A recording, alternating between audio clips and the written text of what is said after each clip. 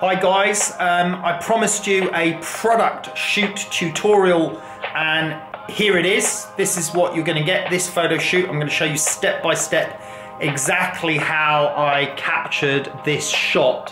Um, what I'm really happy about with this shot is that I've captured it all in camera. The image that you see on screen is the photoshopped layer. Here is the unretouched layer. Did you see the difference? You're going to notice a little bit of difference on the lipstick, a couple of reflections that I had to remove, the Body Shop logo, and the shape of that water there.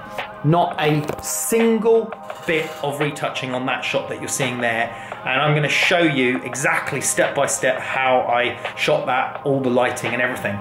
Before I do that, we wanna make sure that you get notified about great uh, tutorials like this that we'll have coming up. So please click that little bell symbol to say to YouTube that you want um, notifications. And also, if you enjoy this tutorial, please click the like button at the end. It helps us out as well. Well, uh, that's it. Let's get on with uh, this tutorial.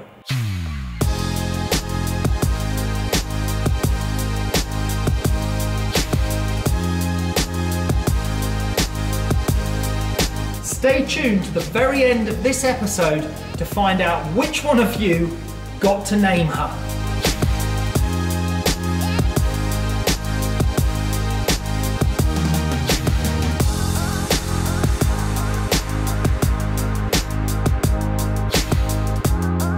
Okay, so let me talk you through the setup so far.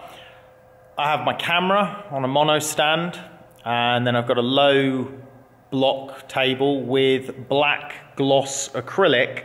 And then above I've got my diffusion material on a scrim frame uh, one that I just make myself. And that's supported by two C stands that's holding that up. And you can see I've just got one uh, Broncolor Unilite above at the moment through my diffusion material. So that's giving me the glow in my perspex or will give me a perfectly cylindrical glow. The difficulty with this is my planning and arrangement of the layout because what I want to do is I also want to put um, some pools of water on there as well with the products. With the pools of water I have to consider exactly where I'm going to put those and what they're going to look like. So I start with one light from above I'm going to tether my camera in now and I'm just going to assess the results on the gloss black perspex. I'm not even worried really at this stage about what the products look like. I'll deal with those as I go along. So my very first test shot, you can see the light was very overexposed. So I simply uh, go over to the pack and then uh, just simply turn the power down. It was on power 8, so I've dropped that down uh, to power 5, so you can see the very overexposed result, and then uh, dropped it down a little bit, dropped it down further, until eventually I end up with a, the ball of light, kind of how I want it. Where I am now, I feel I've got a sort of level of intimacy with the product, and the emotion, if you like, of the composition feels better to me. So this is going to, going to be my starting point now on the composition. The uh, lighting on the products still needs to be taken care of. To get a light in this side of this one, I needed to get a light over there.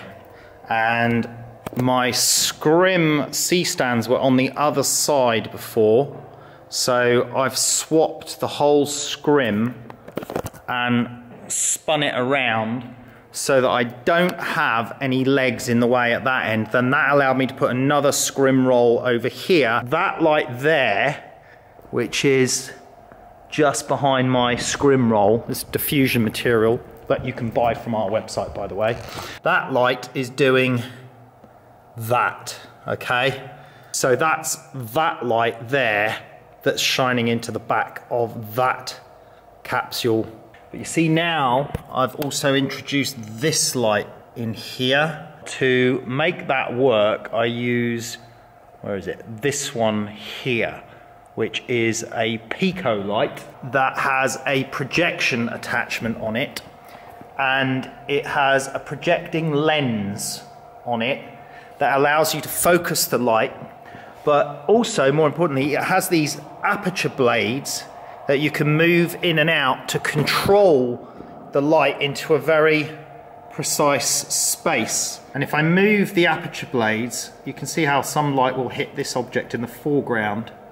And if I move the side one, you see how I can block and shield the light coming in there. So I can control the light. You'll also notice that I've put a piece of white card inside that uh, blusher capsule just to bounce a little bit more light down. It's not doing a tremendous job, but it's just filling in a little bit of that shadow, that crescent shadow there. So it's all a step-by-step -step methodical process of figuring out what's what, where's what, what works, what you like. So I'm trying to do as much as I can in camera, which is what I always do. Good product photography shouldn't be about lots and lots of Photoshop work. You should try and do as much as you can in camera, which is what I'm doing now. So I'll continue on. Okay, so I've added a uh, second Picolite. So there's the first one that's illuminating the color inside that thing. Here's the second Picolite. So I put that white card inside and now this Picolite, if I turn it on and off, there. A very fine beam that's only hitting the inside of that white card to bounce some light down into the surface here because this was completely black. Now that's added that subtle bit of light that you can see in there which is really nice which I'm really liking. Look this is the raw files these are the raw files this is the raw software straight out of camera no Photoshop work yet no editing I've got four lights set up at the moment. Two Picolites, a Unilite from above, and a light from the scrim behind. Look at the control in here. The light on the edge here, the light in here, the light on the um, makeup. Okay, no Photoshop work yet. Next task is to illuminate the edge of this brush. But let me talk through what I've added into the mix now. So we've got the two Picolites that I showed you before, which are isolating the blusher and, and the white card that I put inside the blusher. I then added this third Picolite, which is isolating just the nib of the lipstick from that direction. So only highlighting the lipstick. And you can see I've added another scrim roll and you can see that graduated glow coming up from it. And that is with this Pico box at an angle to feather some light up here coming out on this side which is giving me illumination in this side of the lipstick and the brush. And if we have a look on screen there you can see. So that illumination there and on the inside of the brush wasn't there before. If I go back, that's what it was, you see. So it was much darker on that side and now I've added some illumination in there. Now everything that you see there on screen at the moment, that's all been done, that's straight out of camera, that's the raw file. Now, it's not perfect. I'm not saying that you shouldn't use Photoshop to finish things off. There's probably gonna be a couple of things that I wanna finish off. There's one funny little reflection that I can't do anything about with the lipstick at that angle. Um, that's going to have to require a little blip. But what I'm getting at here is the closer you get the shot to perfection in camera, then the more it it looks real because it is real. It, you know, a lot of photoshopped images look over photoshopped, over manipulated. You can see the Photoshop work. You know it's not real. So I want to get this image to looking like a quality image without Photoshop. And then, if necessary, some minor little imperfections can be brushed up. So uh, that's the lighting setup uh, so far. Let me just run through this Pico box here. That's on power 5.6. That one is at 6.7. That goes to that one, which is highlighting the color of the blusher. That one is at 5.2. And the one hitting the white card inside, you can see is right up at 8.5 because I'm trying to bounce as much light off of that white card. Then over here, I've got my uh, light from the side here, which is light number one, which is at just at 2.7. That's the one that is creating that little catch light on the edge of that when we look at it from the other side. So that's why it's at such a low power. And then the other one is at 4.8. That's the one coming over from the top. We get so many people that say, oh, what's the ratio of the light to the other one and what's that ratio? Well, that's just such a nonsense question when you're dealing with precise lighting because if you knew the ratio and I told you the ratio just like I have, what you also need to know for the physics of it is the distance of the light from the subject because without the distance, then knowing that ratio is absolutely pointless. So unless you know the distance, the type of light, the joules, etc. of the light, um, it's absolutely pointless. So how do I decide the ratio? How do I decide it? Well, it's very simple. I do it in this step-by-step process of looking at the light looking at the light and saying, right, that one's too bright, so I'm going to take it down. That one's too hot, so I'm going to take it down. This one's not bright enough, so I'm going to take it up. I just do it by looking at it and visually assessing. I don't use a light meter. I don't measure the light, but there's no point measuring the light. I've got a big tethered screen coming out of my Hasselblad here. There's no need to measure the light. This is my light measurement, and these are the analytics on that light measurement, making those decisions. You have to look at the picture and decide what's good. Right, I think this is as far as I can go without Photoshop. Uh, if you look closely, I've added a little bit of blip of light on there, and that was from holding a reflector out here. And I've increased the power of the light on here. Not happy with that reflection there, but I can't do anything about it because it's coming from this. So the only way I could do it is to take that away and then shoot it but I don't want to do that for this shot. Um, I want to do as much as I can uh, as I said just in one shot. So it's all one shot and we'll add the water in a minute. But what I want to do is take a picture for you with each only each individual light so that you can see what that light's doing on its own. Um, that's to hold my reflector after. What that's doing what that's doing uh, what that one's doing. So I've got four Picolites there now. Oh, that's the other thing I didn't show you. I've added that Picolite in there, which is actually just highlighting the nib of the brush only. Let me show you what it's like without that there. So you can see the nib of the brush, it was basically black. Then I added the uh, Pico box at the front but then you can see I can now, I've now illuminated just the nib of the brush to add a little bit of color. And that's been done with a really fine, precise control from this Picolite with the projection attachment shining right down just onto the nib of the brush. What I want to do now is I want to actually take a picture with just one light, each light on no other lights on, and then the next one on and no other lights on. So you can see exactly which lights are doing what, and then I can talk you through it. We've just left the top light only on now. I'm going to take a picture. So there you go. That is just the top light on its own. You can see that there's no other illumination in anything else. It's just the glow in the perspex. Right, now just do the side scrim on that pack, please, Ben. So this is just the light on here now. So this is just this one light on its own. There you go. So that's that light is illuminating just that.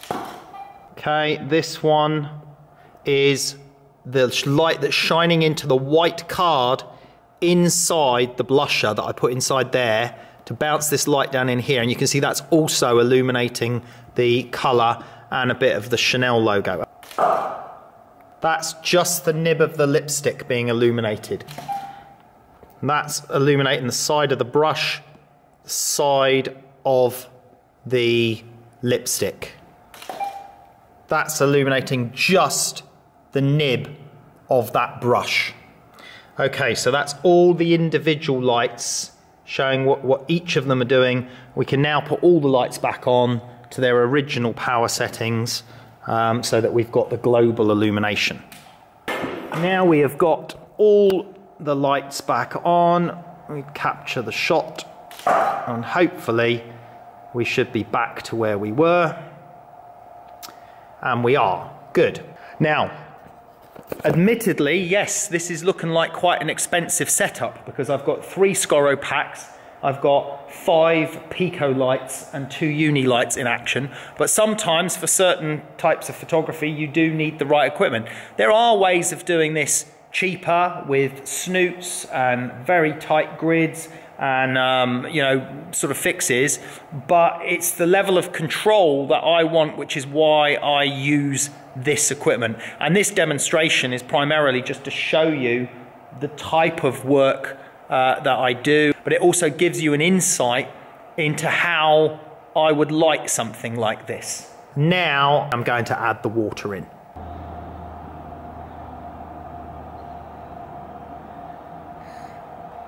Take that shot.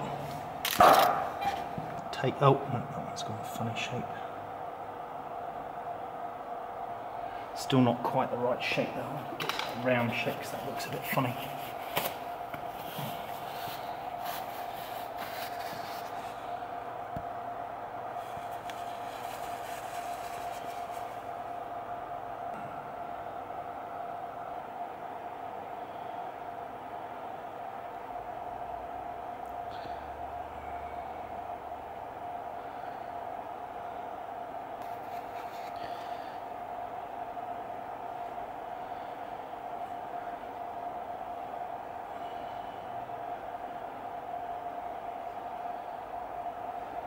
It.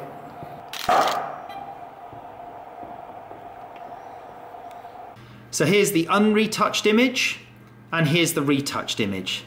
Unretouched and retouched. Well, I hope you enjoyed that video and that step-by-step -step walkthrough on my lighting. I know um, that many of you are going to comment on the fact that I was using tens of thousands of dollars worth of equipment to achieve that photo shoot. And you know what? You're absolutely right. I was, but it's my job. Those are the tools that help me do my job more effectively. So those are the tools that I choose to use, as do many other professional photographers. Back in the day, I used to use um, a lot of homemade tools, snoots, my own grids and devices to create small pockets of light and control light in uh, a small way. But obviously with these tools, it helps me do it more efficiently. Maybe I can make a video if you're interested. If you want to comment below, I can make a video in the future about how I can make some homemade tools and that you can do yourself to create little pockets of light. Um, but yeah, leave some comments on that. Um, sorry the video was a little bit shaky because I was holding this camera that I've got now by hand as I was working, so it was a little bit shaky. And sorry the white balance kept shifting a little bit as well because it was shifting between the screen balance and then the tungsten lights, the modeling lamps on the studio lights. But anyway, I think um, the video hopefully will inspire you, give you some ideas for uh, product photography. If you like the video, please, please click the like button because that helps us a lot. And if you're not a subscriber yet, please click the subscribe button. If you are a subscriber, then remember to click that little bell symbol to get notified on future videos. Anyway, thanks very much for watching. Learn photography with me, Karl Taylor, at karltaylorphotography.com with instant access, online streaming, and HD downloads. Everything you need to know from beginner to pro. Subscribe to our channel, get 10% off Squarespace. Stephanie! Stephanie, we're ready for